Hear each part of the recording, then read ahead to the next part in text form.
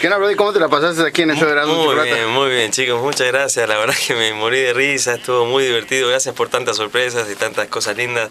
Eh, muchas gracias, en serio, de corazón.